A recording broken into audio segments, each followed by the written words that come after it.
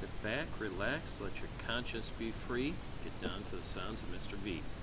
All right, I'm here today to try and teach you how to create a quadruple line graph. You are currently on slide 7 and it says quadruple line graph. Well, first, let's take this information right here, title of slide. I'm going to put control X. I'm now going to end up putting control V. I've got it up here. I'll enlarge it a little bit because it is the title of the slide. So let me make that a little bit bigger. I'll even bold it so it looks even better. Right? Now, what I can end up doing here is I'm going to get rid of these here. Not that it means too much to you, right? But at this point, I now need to make sure that I can make a quadruple line graph. That's what I'm going to be focusing on. So let's get right to that, all right? So with my quadruple line graph, first thing that you need to do, you need to be able to go to your Google Drive.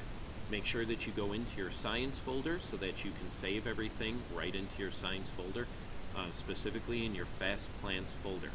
I'm going to go to create. Here I'm going to end up going to create spreadsheet. Under create spreadsheet, I'm going to hit create and share. Now what I want to be able to do is in A1, I want to type in day. B, I want plant A. Now I want plant B, plant C, and I want plant D. This one should be plant D. There it goes. Now down the side here I'm going to end up putting my days down. Okay? And remember that with this first week we did day one, two, three, four, and then we skipped five and six because that was the weekend, and then we had day seven, day eight, day nine, and so on. Here's what it should end up looking like. Something similar to this. Now, you guys had more days than this. You guys ended up um, going into day 30 something. Day 32 or so may have been the last day that we had. So your numbers are going to keep going. This is your data for plant A and the height of plant A each day that you ended up taking um, your information from it. Here was the data for plant B, every day that you took information from it, plant C, plant D. The way I'm going to create my graph is to highlight this chart right here. I'm going to go to Insert, Chart. I'm now going to click on Charts. Here I'm going to click on Line I want to make sure that I choose a line graph. I'm now going to end up going to Start. Under Start, I want to click Use Column A as Labels. Now, I have numbers up the side, I have numbers on the bottom. My x-axis is on the bottom, my y-axis, I got numbers going up. I now am ready to insert my chart. But my chart's not quite done yet. I still have to do a few things with this. So what I want to do is I want to edit it. I want to make sure that I put a title in for this. So I'm going to call this um, height of plants. And I'm going to label my left vertical axis title.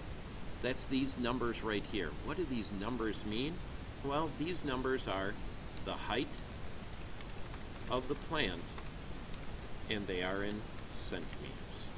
All right, label what it is. Make sure that you hit enter when you get done as well. Otherwise it won't take. I did not hit enter with the chart title and it didn't end up taking. Horizontal axis title. These numbers along the bottom are the days. Make sure you hit enter. Back to chart title for me. Right? Hitting enter. Now, my uh, I'm done. My chart has now been created. I'm going to go up to this little arrow that's right here. I'm going to click copy chart. Chart has now been copied. It says you can now paste the chart into documents and presentations. I want to put it into my presentation. I'm going to come over here. I'm going to hit Control V. I hit Control V. Here's my chart. Chart created.